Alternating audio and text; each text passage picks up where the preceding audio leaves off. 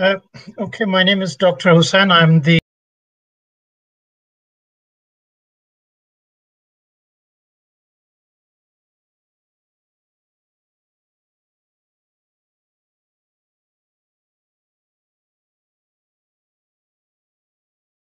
uh, the the forum is yours. Thank you. And just checking you can see my slides. Yeah, we can see your slides, Dr. Rudman. Perfect. So this presentation is about how a distributed ledger platform has been used by Scotland's Rural College and pioneering Aberdeenshire farmers who have recently formed uh, the Oat Co. Um, so they formed it because of concerns over food and drink safety um, authenticity. Um, and consumers uh, have been wanting increasingly transparent and trusted evidence about the life cycle of products. So the Oatco farmers um, have been collecting information about their oats. Um, their oats are gluten free, um, but to a lower level than is currently required in the UK for um, uh, getting the kite mark. So in the UK, that's 20 parts per million. In the rest of the world, it tends to be five parts per million. Um, and that lower level uh, is really what people with celiac disease want to be able to see. That higher level of 20 parts per million can often uh, cause uh, their illness to flare up. So the Oatco farmers are already recording various processes and actions uh, that they are taking in their fields, in their sheds, um, with spraying and harvesting. But of course, they're really only doing that on paper or in farm management systems at the moment, which is time consuming and outdated. They have a purpose built mill um, and their process uh, that they have got on paper is certified gluten free and certified BRCGS. So they have to do extra testing for that five parts per million gluten free uh, to assure uh, celiac disease sufferers. But they also are making records about the machinery, the storage, the product as it's stored, when it's bagged, um, and they approached us to uh, help us think about, help them think about how they could provide an assured traceability tool for the oats, which was digital and trustable. So we came up with a plan to assure the information that they were collecting and the data that the Oatco had. Um, about uh, making it tamper proof, making it digitally available, and making it available in a nuanced way to those who needed to see it.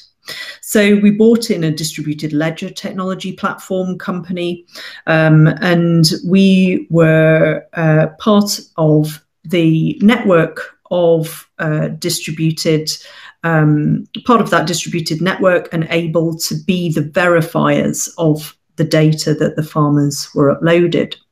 So at this stage, we've just completed the proof of concept stage, the area in the dotted red box. But the Oatco are busy um, approaching food processors and uh, big retailers. So we're hoping that the project moves to a next stage all along the supply chain that you can see here, right along uh, to those uh, products being available to uh, customers who've bought the oats in the shop. So we used um, this uh, distributed ledger technology platform called Siccar. Um, it's a private and permissioned DLT network uh, used by many pilots in the public sector here in uh, Scotland and um, the ledgers, the um, shared digital records are permissioned with proof of authority. So that means that one party might be able to write to a part of it, perhaps another two parties might be able to read that written data, but another party doesn't have permission to necessarily write or read uh, anything. So granting nuanced permissions was really important um, because that was what we needed the data verifiers to be able to trust. So we really um, wanted to set up a controlled and secure process. Um, and of course, everybody in the network can only upload uh, and add data according to the specific permissions they've been granted. So, as the group, the farmers, the independent academic verifiers, and technology providers, we first kind of worked out the logic model on a spreadsheet, just thinking about what digital information was going to be required to prove that the oats were gluten free at each step. And of course, steps in farming are things that happen throughout the life cycle of a product as it grows. So, in terms of a gluten free oats assurance process, we needed to gather data about the history of what had happened in the fields before the oat seed was even drilled into it and before the harvest was cultivated. The steps then, of course, have responsible actors. So, which organization does what? Well, the farmer does those first steps, but we needed to consider what digital evidence was required to prove those actions had been taken. And we needed the field history records, and of course, they sit in a farm management system. So, that uh, meant that we had to be sure that we could get that digital asset out of that closed system and into the ledger and we could they could be exported as pdf the actual mapping of the process that we developed with the oak company looked more like this and this brought up a problem. It, it brought up something that we ended up calling sub steps and um, their child steps of a bigger parent step but it's data that needs to be collected, um, and these steps happen many times. So, cultivating happens many times because it's the application of fertilizer, um, and a crop uh, might get, uh, in any different harvest, might get cultivated a number of times. Alternatively, a crop in a field block might become contaminated um, by gluten halfway through the process. Perhaps it's growing next to a field of barley and it's been very windy in a certain direction. So we had to make sure that we could uh, finish um, uh, the um, the logic steps uh, early if we needed to. So that taught us a big lesson that supply chains and chains of custody don't necessarily work in a linear order in real life. Things go backwards, multiple things happen simultaneously. And so uh, we ended up using directed acyclic graph architecture uh, in Siccar rather than the more linear blockchain architecture to enable us to build records that through time could be more flexible and uh, reflect the chain of custody. With the project, we proved that we could use DLT to track and trace products back to source using the DLT platform. And the DLT platform could prove that those certain qualities had happened through the data that had been uploaded to the ledger. So the data was given permission in some cases to be public. And uh, if you have a phone, uh, you can um, take a picture of that uh, QR code. That QR code is um, effectively pulling with an API uh, from the ledger the data that's uh, allowed to be shown uh, to the public. You can do it now. Uh, the um, the camera app will ask your browser if it wants to go to a web app.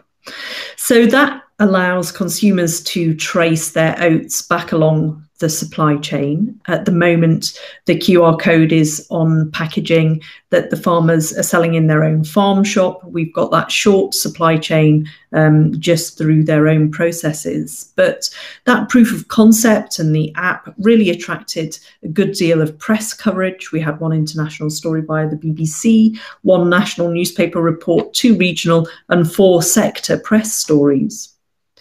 We also made a tech demo video, which was really useful for um, knowledge transfer with the uh, sector itself, and you can watch that with that URL um, on the picture there. And then um, we also had a paper in the JBBA um, presenting how qualitative research design and methodologies could help companies and academics achieve practice, uh, evidence based practice. So that was a case study in the PCIO framework as proposed by Naqvi and Hussain last year as the most appropriate framework for evidence based practice. The case study is the conclusion of the pilot project. And we ran it as participatory action research or PAR. And the findings in our case study showed that PAR is an appropriate qualitative research method for any democratic collaborative consortia to achieve evidence based practice through dialogue, through discussion, through co development, and trusting relationships. And the paper won Best Research Paper in the Public Sector Life Sciences category just at the end of 2020. So, what's next? Well, we're considering um, and seeking funding for future developments. As I mentioned earlier, that does include the idea of integrating Internet of Things sensors as actors in the network and enabling APIs from softwares uh, from, say, the farm management systems to be actors in the network. We want to be able to automate the uh, data, but also um, make sure that we're strongly authenticating that data into the network as well.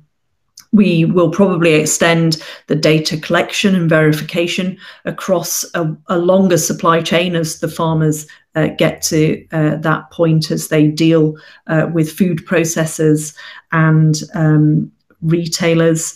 And of course, we're seeing consumers being increasingly more interested in the idea of carbon emissions and carbon sequestration that, that farms can do. So, other environmental data we expect to be adding to the ledgers too. So, thanks very much for listening to my presentation. Uh, excellent talk. Uh, Dr. Rudman, uh, just two questions. Uh, what is the biggest uh, challenge on the ground when it comes to agricultural related challenges. For example, you mentioned contamination of product is one of the biggest challenge. What other challenges uh, do you expect yeah. apart from this one? The um, one of the challenges we had was around usability. So, um, if you're expecting a tractor driver to take to give you some digital data about uh, what they've done, they really need to be able to use the device that they've got on them, which is usually their mobile phone, to take a picture of the fact that they've just cleaned meticulously um, their trailer or, or, their tractor. So, um, certainly, um, you know, you can't expect them to use web apps, you can't expect them to um, uh, sorry, web applications on computers, but you can expect them to use mobile apps, and we need to do a lot more of that, uh, improving usability. Hmm. And uh, well, uh, you have mentioned that uh, we are at the initial stages in, in, proof of concept stage. It has to reach to the supply chain and then to reach to the consumer stage. Uh, assume you overcome all the challenges. Uh, I know it is going to be a very uh, hard work. Uh, how long you think this project could be a reality when people, common consumer, have access to gluten-free product and which is verifiable uh, on their mm-hmm. mobile app?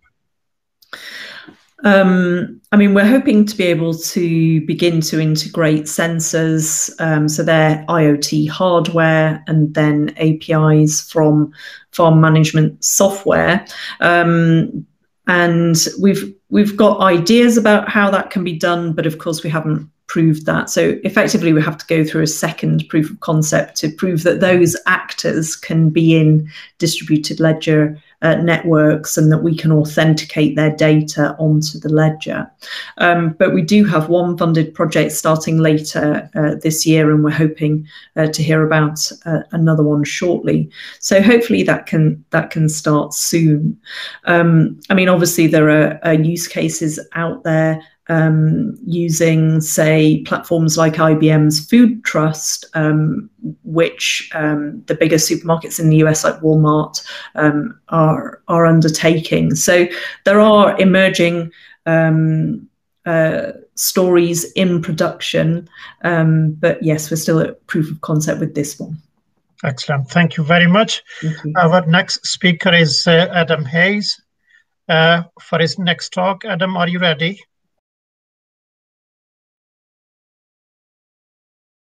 Hear me? Yes, we can. Great. So I'm going to start with a, a poll.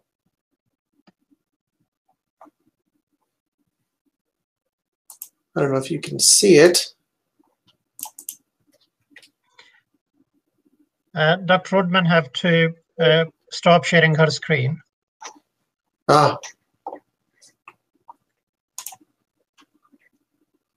Okay, so I have a poll going in the conversations for the session. While Uh, I go pull up my Dr. Rudman, could you stop sharing your screen, please, so Adam can can take the screen? Yeah, I have clicked that button. Yeah, good. We can see you, Adam. Now we can see you. Great. So, my talk today isn't actually a use case per se, except that it's interrogating the actual original use case of Bitcoin, which is that of being a global internet money, or what I'm calling a world money. And today I want to sort of flip the script on this, uh, as it were, and, and try to see if we can instead understand cryptocurrencies in, as a money world, which I'll explain what I mean by that. But in doing so, uh, it'll kind of help us think about cryptocurrencies as money at a different scope and scale, uh, and perhaps um, sidestep some arguments and debates about the moneyness of, of Bitcoin today. And uh, I'm going to read a little bit from um, a paper that I, that I've written on this topic. So the question of cryptocurrency's so-called moneyness, this has remained elusive. In fact, very few commercial or retail transactions still occur using cryptocurrencies, even more than a decade after their introduction.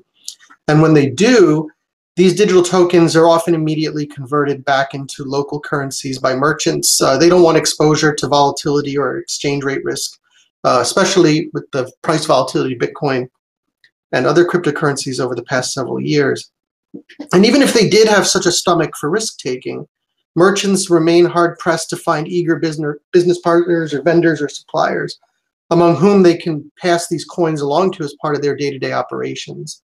So, cryptocurrencies in practice indeed appear to behave not like money, but instead almost like a novel asset class or a virtual commodity or perhaps a collectible. So, um, as I said, I'm going to attempt to reframe the view of cryptocurrencies as money. So if Bitcoin, etc., are supposed to be this global internet money, they're certainly not used by one. Instead, it's become a speculative plaything, making up an alternative investment segment, expanding the universe of assets available to a well-diversified portfolio. And indeed, we know that these are hoarded. So collectors of cryptocurrencies tend to hold on for dear life or hodl them uh, rather than use them in exchange. And again, this makes it not like money. So we need to understand that money, it's not only use in exchange. So thinkers going back to the ancient times have kind of under, understood in different ways what makes something money.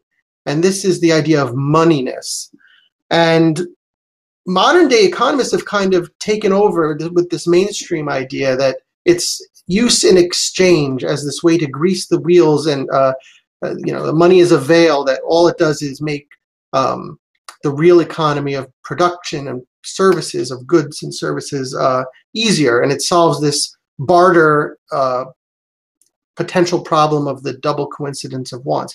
Well that's not necessarily how people have thought about money throughout history. And indeed money has existed without a medium of exchange as a numeraire or as this unit of account.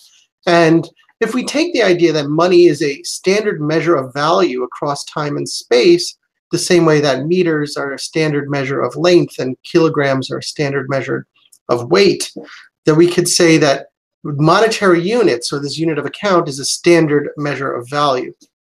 And therefore, if we don't have something like dollars or euros, which we have things to price with, um, or which we price things with, then we don't have a medium of exchange to transmit that value, and we don't have a store of value because we don't know what we're storing. So indeed, um, I'm starting with the premise that the unit of account is first and foremost what makes something money, and then the other functions of exchange as a medium and as a, a, a value store come after the fact. So if we think about that, then we can ask, well, is Bitcoin and other cryptocurrencies, are these world monies? And in fact, no, because they are not the medium, uh, rather the unit of account anywhere. Even if people use them in exchange, they're still pricing things in their home currency. So if I buy something online and use Bitcoin, I'm still referencing the dollar value of that.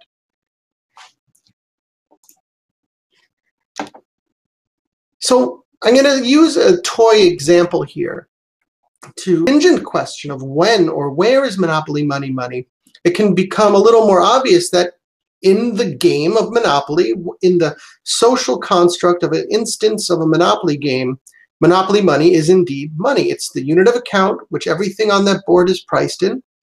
It's the medium of exchange that's used when you land on a board piece that's owned by somebody. They charge you rent that's priced in Monopoly money. And uh, indeed, if you run out of Monopoly money, you lose the game because you are bankrupt. If you were then to take out your wallet and use euros or dollar notes to try, uh, you know, US dollar notes to try to buy your way back into the game, that would be cheating. And the friends you're playing with might think you're a bit of a jerk for doing so. But the fact is that monopoly money, money within the social construct of the game, is the money of the land and it's the unit of account. Other money is not useful there. The same way that you cannot go to a restaurant and try to pay for something with monopoly money, it's not useful there. So fiat currencies are the unit of account bounded by political and geographic borders. Okay, so when is a yen money? Yen is money in the context of the nation state of Japan. So we can then ask the question, when or where is Bitcoin money? Where are things priced as priced in terms of Bitcoin, and that is within the Bitcoin network. The blockchain itself is the social and technological construct within which Bit, their salary, as it were, is in terms of Bitcoin, both in fees, but also block reward. But indeed, when people are transacting money on the Bitcoin blockchain as a medium of exchange, they can only send Bitcoin through the Bitcoin network. You cannot send other units of currency. Uh, you cannot send dollars to the Bitcoin network, for example. Therefore, Bitcoin is money within the Bitcoin blockchain. It's bounded by this so social and technological space. Now, this the, the Bitcoin blockchain is, is kind of a simple one commodity economy. It's not very interesting in economic terms, although it's certainly important and valuable. But we can look to uh, other blockchains for example, Ethereum. And Ethereum, the unit of account, is Ether. Ether is what everything is priced in within the social and technological boundaries of the Ethereum blockchain. And as a result, everything that takes place on that blockchain that's priced in Ether is considered or can be construed as economic activity. So let's take the silly case of CryptoKitties. CryptoKitties involve smart contracts that create these um, which is now non-fungible tokens, which is now this hot word. But basically, each of these CryptoKitty cards are unique and have a uh, ownership that is unique. So if you own a CryptoKitty, it is yours. But the fact is that you pay for them using um, using Ether units. They're priced in Ether. If you want to sire CryptoKitties, so in other words, if you have one, you can have it mate with another one so that you can have mutations and, and uh, heredity. So you can make a brand new, unique CryptoKitty that has new and unique features that might be valuable for some people. That siring service is paid for in Ether. Ether is money. Ether is money, but only inside of the Ethereum blockchain. We can see how this works using schematics. So this is a schematic that the Ethereum uh, website actually has. But if you look at these uh, instances of where gas is needed, so gas are um, is the terminology used for bits of token, bits of ether token that are used to process the computational power of the mining network to validate transactions, but also to validate and process scripts such as smart contracts and indeed smart property like CryptoKitties. So when we see this gas input and gas output, these are all priced in Ether. Ether is the unit of account. It is the medium of exchange. And you need to hold on to it. You need Ether as a store of value so you can use it in the future. Everything is priced in Ether units. So it is money. But it's no good outside of the country, the nation state, the social technological boundary of the Ethereum blockchain. And this way, we can think of each blockchain as its own money world, just the way that the United States and Canada and Mexico and the Eurozone, these are also money worlds. But these money worlds are now increasingly interacting with each other the same way that I can have cross-border commerce between the United States and Canada or with the Eurozone. You can now effect atomic swaps. These cross-blockchain swaps are essentially international trade, if you want to think of it that way. And so instead of thinking about each cryptocurrency or each blockchain-based token in our world, in the real world of human beings and the real production economy of things like chairs and and uh, and mining for raw materials that we use in production. Instead, we need to think of these as their own self-contained money world. So cryptocurrencies like Bitcoin and Ethereum, et cetera, are not competing with US dollars and with euros on their own terms. No, indeed, they're competing in terms of economic activity. So when we think of the Bitcoin blockchain, Bitcoin is valuable because Bitcoin provides an economic service for this ecosystem. In that case, Bitcoin tends to be this reserve currency or, or settlement layer, uh, sort of like the way that dollars have been in the modern economy. But the fact is, is that each exchange rate, relative exchange rate, is going to be based on certain things that are uh, inherent to the economic activity, if we can call it that, that occurs within these blockchains. And so cryptocurrency money as money worlds or blockchain-based tokens as money worlds um, might become more and more relevant with Internet of Things as computers and uh, algorithms make use of these tokens, for example, to affect micro auctions or to um, well, micro auctions are a great example because human beings don't care about fractions of a cent, and we're too slow to even make the calculations necessary. So if we're in a world of driverless cars and two cars need to negotiate who's going to get on the entry ramp first on a highway, well, human beings fall back on social norms and rules of the road, but machines don't do that. But they can use a token to effect a micro auction, in which case that micro auction would use a denomination that is a money within that system. Anyway, the idea that I that I'm trying to leave us all with is that we've been thinking about the scale, perhaps, of cryptocurrencies all wrong. Cryptocurrencies are not this transnational, borderless money uh, world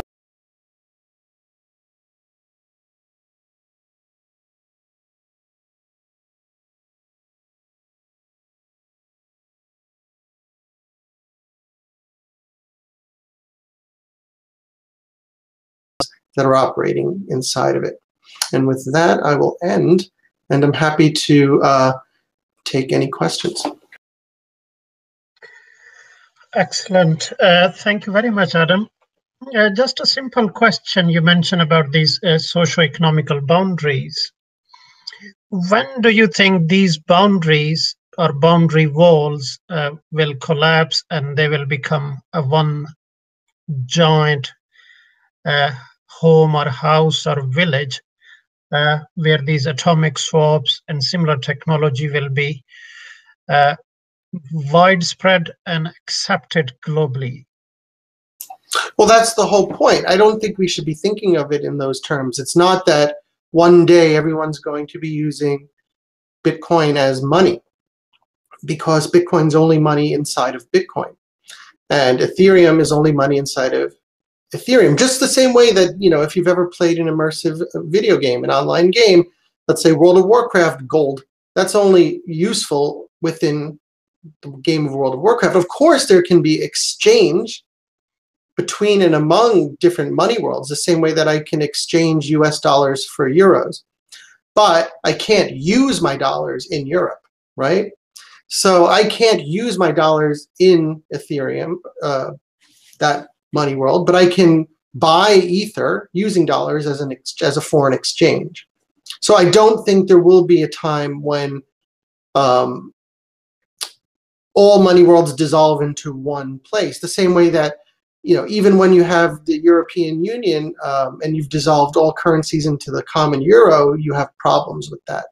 Um, I think one thing that's interesting about this space is that anyone can create their own money world if they have a little bit of technological, uh, you know, computer coding skill and some uh, economic acumen to some degree. You can create a money world, and that will succeed or fail on its own merits. Um, but at the same time, each money world you can create for its own specific purpose. So, for example, if you have something like Storj or Filecoin, that's a unit of account specifically targeted at file sharing and storage across computers. So you might have this idea of like Ricardian comparative uh, advantage where you have certain tokens that are useful for certain use cases and others that um, are incompatible with that use case, which is why you need something like Bitcoin, which is this universal settlement layer. Good. Uh, uh Adam, uh, this gentleman called Ben Yang uh, from uh, uh, Allianz Global Investors. His question is How would one then be able to ascertain the valuation of each token in, in each ecosystem? Yeah, well, this is, is it, oh, is, is that, is there more to the question? Yes, all using Bitcoin as the base reference currency. Well, I don't think that's necessary in, uh, down the road. The same, uh, well, you can have foreign exchange that doesn't use the dollar. For example, you can convert Australian dollars for New Zealand dollars directly. So there, I think there's plenty of room for um, not using Bitcoin as the reference.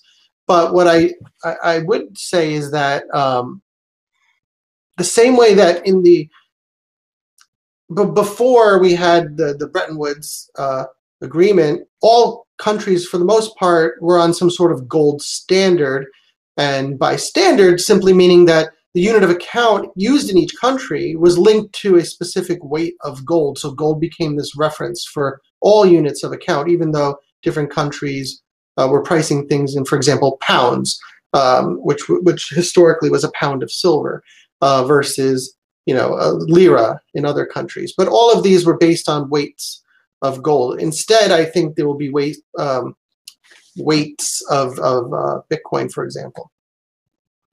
And did I miss the first half of that question? No, that's answered. Uh, thank you very much, Adam. Uh, Dr. Rudman, there is a question from a gentleman called Patrick. He is the owner of Innovation Doorway.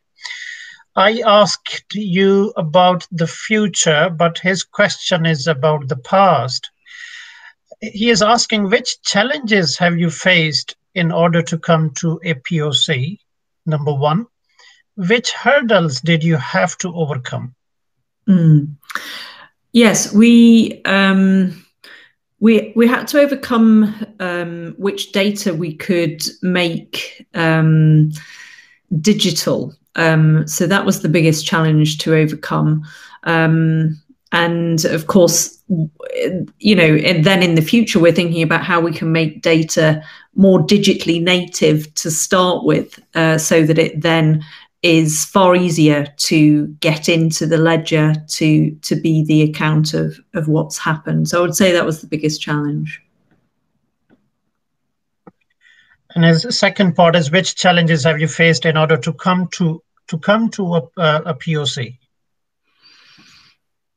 um, the technical challenge of choosing a distributed ledger uh, technology platform, um, and then um, just working out how that that data uh, then gets nuanced permissions uh, into the DLT network. So those are the main um, main problems we had to overcome. Wonderful. Thank you very much, uh, both of you, Adam and, and Dr. Rudman. Uh, very nice and constructive talk. Uh, we are concluding our session here. Uh, the audience, if they want to ask more questions, they can leave uh, in the forum. They will be answered uh, later. Thank you very much, Thank and you. we'll see you later. Thank you. Bye-bye.